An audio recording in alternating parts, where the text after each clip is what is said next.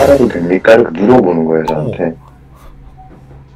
애가 눈빛이 갑자기 확 변하더니 제 바지를 확 벗겨버리는 거예요.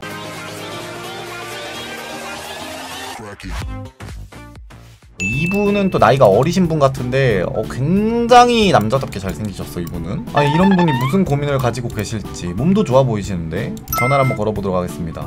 여보세요? 예, 여보세요. 자기소개 부탁드립니다. 나이, 키, 몸무게, 탑이요. 22에 키 175, 몸무게 68, 어, 성형 이게 제 고민이거든요. 아 근데 실례지만 잘생겼다는 소리 좀 들으시죠? 가끔요. 인기 좀 있으실 것 같은데 이분은 네 아무튼 고민 말씀해주세요 어, 일단 고민이 이쪽인지 아닌지가 제 고민이거든요. 20살 군대를 갔다 와가지고 지금 전역을 했는데 거기서 이제 저보다 다섯 달 밑에 후임이 있었거든요. 네 걔네 생활관에 가는 날이 아무래도 좀 많아지다 보니까 자연스럽게 걔랑 말을 좀 틀기 시작했거든요. 네, 저녁에 이제 주말이었는데 걔네 생활관 가서 옆에 누워 있었어요. 네, 네. 걔도 저랑 나이가 동갑이었는데 귓속말로 제가 일단 선임이니까 키스해도 됩니까? 이렇게 물어보는 거예요 저한테 네. 근데 제가 왜 그랬는지 모르겠는데 고개를 끄덕끄덕 거렸거든요 네. 그래서 거기서 했어요 뭐를 뭘 하고? 했어요? 아 키스를 했어요 했는데 거기 선임들도 있고 후임들도 다 있었거든요 있네?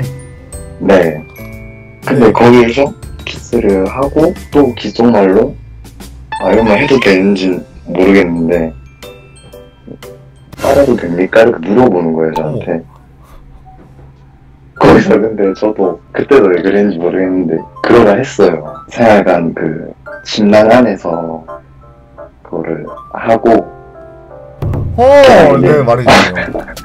걔랑 이제 아무래도 계속 마주치는 사이니까 불침번을 같이 섰어요 걔랑 네. 불침번을 같이 섰는데 그때 이제 자기에 대해서 얘기를 해주더라고요 게이라고? 네 네. 저는 그때 아직 이쪽인지 아닌지도 아직도 몰랐 고 그때 이제 좀 진솔한 대화를 나눴는데 그렇게 얘기를 해주면 자기는 탑이다 그러니까 넌 오늘부터 바텀이다 이렇게 얘기를 해주는 거예요 그래서 그런가 보구나 하고 넘어갔는데 제가 노래 부르는 걸 좋아해가지고 걔랑 같이 군대 안에 있는 노래방을 갔거든요 네. 근데 거기를 갔는데 애가 눈빛이 갑자기 확 변하더니 제 바지를 확 벗겨버리는 거예요 둘이 있는데? 네. 거기서 이제 모든 걸 했어요 그 아. B로 하는 것까지? 네, 본인이 바텀한 거예요? 네. 너무 아팠거든요. 준비도 안 하고 한 거잖아요. 네, 젤은 있었어요? 없었죠. 그럼 뭘로 했어요? 아무것도 없이. 아니 그게 돼요? 그러니까 너무 아팠어요. 진짜 죽을 뻔했거든요. 하고 이제 걔가 휴가를 나갔어요. 9월 달에. 네. 젤하고 콘돔을 가져온 거예요. 그래서 이제 주말에 돼서 노래방을 갔죠. 그 거기- 문제의 노래방 네, 그렇게 하고 이제 그 모든 걸 다 했어요. 그때도 아팠어요? 그때는 이상하게 안 아팠어요. 좋았어요?